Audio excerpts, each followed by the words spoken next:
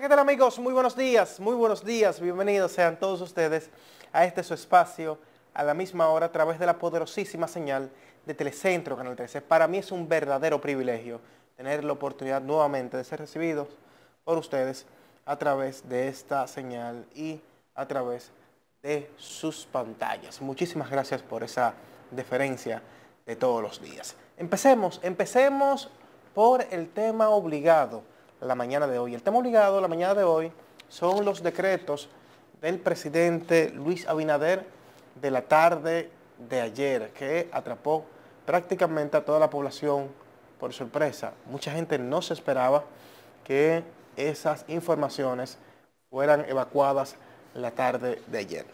Bueno, de los funcionarios designados está el licenciado Andrés Bautista. Andrés Bautista, quien es abogado, fundador de la Cooperativa Agrícola Avícola Nacional, eh, miembro de la Junta Agroempresarial Dominicana, más de 50 años vinculado al sector agropecuario, fue director del Instituto del Tabaco en el año 1986, senador de la provincia Espaillat hasta 2020, fue presidente del Senado, fundador y el primer presidente también del Partido Revolucionario Moderno. Eh, Andrés Bautista, hay que decir, señores, hay que decir que es una persona con unas cualidades extraordinarias. Primero como ser humano y segundo en la función pública. Andrés Bautista, como senador, hizo un gran trabajo por su provincia. Además, en el PRM fue una pieza clave para la conformación de esa organización política y también fue el primer presidente de esa organización política. Bueno, y usted ha visto eh, ya el curso que ha llevado el, PRM, que ha ido en ascenso. Pero además, quizás hay algo que la gente no conoce. Eh, Andrés Bautista durante estos últimos cuatro años ha sido una especie de asesor del presidente Luis Abinader. Pero también es uno, por no decir prácticamente el principal, ¿verdad? Pero es uno de los principales articuladores de todo ese movimiento que se tejió en torno a la candidatura presidencial del presidente Luis Abinader de cara a esta repostulación. Y cuando hablo de esa articulación de un movimiento me refiero a ese poderoso eh, bloque de partidos aliados que apoyó al presidente Luis Abinader para las elecciones de 2020. El gran líder y articulador de ese proyecto realmente es Andrés Bautista, quien fue quien logró nuclear todas esas fuerzas externas en beneficio de la candidatura del presidente Luis Abinader. Es decir, una persona que estaba en teoría tras bastidores, pero realmente hizo un gran trabajo en este proceso electoral. Además, eh, es clave también que el presidente en todo este proceso de reforma que va a desempeñar en el Estado lleve a personas con esa experiencia política y de Estado a su lado para ayudarle a liderar ese proceso de transformación que el presidente Luis Abinader está buscando. Yo creo que ha elegido a la persona muy correcta, que es Andrés Bautista. De manera que éxito para él en esta función, aunque sé que conociendo parte de su trayectoria, ese éxito está asegurado. Mis felicitaciones para Andrés Bautista. Por otro lado, tenemos a Milton Morrison. Milton Morrison pasó de ser gerente general de EDESUR a el Intran. Milton Morrison es licenciado en Ingeniería Eléctrica, maestría en Desarrollo y Planificación de la Universidad de Brantford además docente y director de la Escuela de Ingeniería Eléctrica de INTEC, fundador y director de Energía del Ministerio de Industria y Comercio. Milton Morrison ha estado prácticamente bajo la lupa durante este último periodo del presidente Luis Abinader. Es decir, este último periodo de 2020-2024. ¿Por qué ha estado bajo la lupa? Bueno, ha estado bajo la lupa por algo sencillo. ha estado bajo la lupa porque esa empresa es muy exigente. Eh, digo que es muy exigente porque eh, esos resultados y nadie quiere que le aumenten la luz, nadie quiere que se le vaya tampoco eh, la energía eléctrica. Entonces, siempre son posiciones sensibles. Donde él va ahora es quizás igual de compleja y exigente, pero no creo que se queme tanto como en el sur. Sin embargo, lleva grandes retos porque tiene una, una pequeña crisis ahí, ahí en el sur. Vamos a ver cómo le va en esta entidad. Por otro lado, Héctor Porcela pasó a... Eh, vamos a ver, al IDAC. Al IDAC. Eh, perdón, pasó, eh, pasó a la Junta de Aviación Civil. Vamos a ver, a confirmar. Sí, nuevo presidente de la Junta de Aviación Civil. Es administrador de empresas en la Universidad eh, de Georgia, director general del Instituto Dominicano de Aviación Civil, fue presidente del Grupo Regional de Planificación y Ejecución presidente del Organismo Internacional de Aviación Civil. Entonces, es una persona con vasta experiencia en, el área. Es decir, no es una persona que eh, va a conocer el, cargo. Es una persona que lo conoce muy bien eh, la razón de ser de su organización. Esto quizás, quizás asegura una curva de aprendizaje mucho menor y garantiza la estabilidad de las instituciones, porque a veces cuando se producen cambios, por mejor gerente que sea el que llega, hay una curva de aprendizaje para entender qué es la entidad. Es como el caso, por ejemplo, de, Morrison. Morrison va a ver qué es el Intran, a leerse la ley, a recibir inducción, él y su equipo. En el caso de Porcela, es una persona que viene del sector. Además, que ha ocupado cargos internacionales de mayor exigencia. Entonces, creo que el presidente ahí ha tomado una muy buena decisión Esperemos que él la honre con su buena ejecución. Por otro lado, eh, Sigmund Freud fue director de la Alianza Público-Privada y del Fideicomiso Pro Pedernales. Abogado, eh, doctorado en Ciencias Jurídicas, eh, cofundador de la firma Staff Legal. Ahora, ahora va Vamos a ver si lo confirmo por acá. Vamos a ver, se me perdió el cargo de... Vamos a ver si lo encuentro por acá. Ah, nuevo ministro de Administración Pública. Ahí está en sus pantallas. Ministro de Administración Pública, Sigmund Freud. Bueno, delegado del PRM también ante la Junta.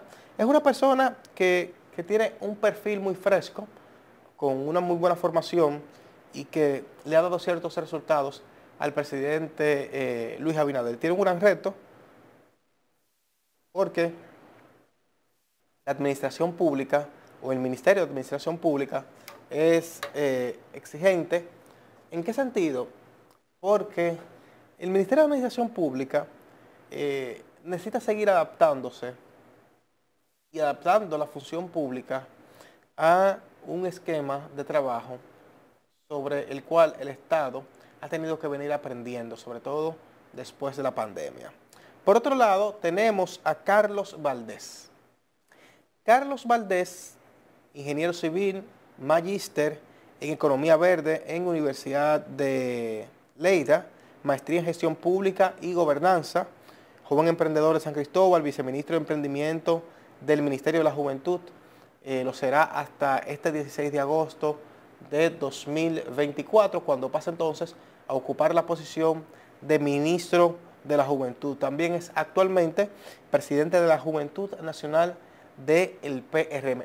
Tuve la oportunidad de conocer a Carlos Valdés cuando estuve en un momento determinado, por unas semanas, eh, trabajando un proyecto en el Ministerio de la Juventud.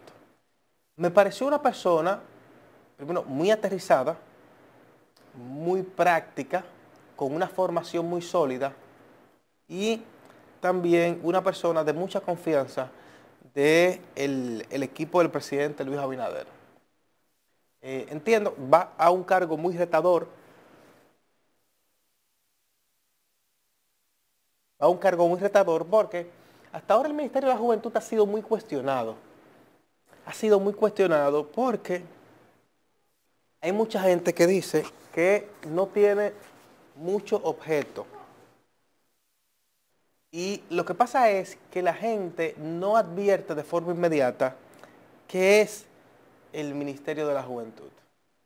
¿Qué es el Ministerio de la Juventud? Y en ese sentido, ¿qué impacto tiene en los jóvenes? Yo creo que el gran reto de Carlos Valdés frente a este ministerio es legitimar esa organización de cara a toda la sociedad. Y la mejor forma de legitimarla es dando resultados. Dando resultados más allá, más allá de eh, dar becas, más allá de organizar y entregar los premios eh, de la juventud. Creo que ahí está el gran reto de, eh, de Carlos Valdés, un joven que me parece con, mucha visión. Por otro lado, tenemos a Igor Rodríguez. Igor Rodríguez es ingeniero en en sistemas y cómputos, maestría en administración de empresas de la Pontificia Universidad Católica Madre y Maestra, maestría en gestión ejecutiva también por la Pontificia Universidad Católica Madre y Maestra, magíster en ingeniería de software de la Pontificia Universidad Católica Madre y Maestra, ministro interino administrativo de la presidencia y viceministro, viceministro administrativo de financiamiento. Igor Rodríguez pasa ahora a ser el director del Instituto Dominicano de Aviación Civil, el IDAC una institución muy técnica, pero eh, observando el perfil robusto que acompaña a Igor Rodríguez, me atrevo a decir que esa es una muy buena posición para el actual viceministro, que además eh, demostró ser una persona de mucha confianza en el gabinete del presidente Luis Abinader. Además, tiene un perfil muy robusto, muy robusto, lo que asegura que una institución tan técnica como esta y clave en el gobierno eh, dominicano y para el país, por supuesto, vaya, vaya por, un, por, un, buen camino. Sin embargo, eh, la prueba de la verdad son los hechos, dicen los chinos. En ese sentido, vamos a ver eh, qué también, qué también puede hacerlo Igor Rodríguez ya en la práctica, más allá del perfil que le acompaña. Entonces, Rafael Félix, actual ministro de la Juventud, va a pasar entonces al ITLA, va a pasar a ser el director del Instituto Tecnológico de las Américas, ITLA.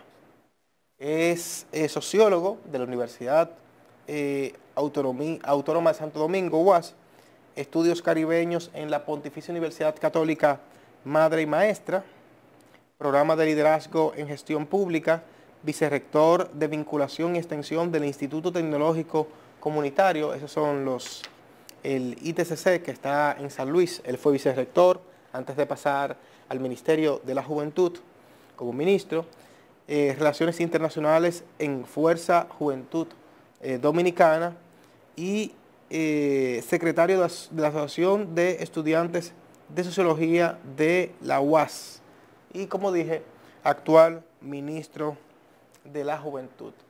Rafael Félix recibió este ministerio que todavía dirige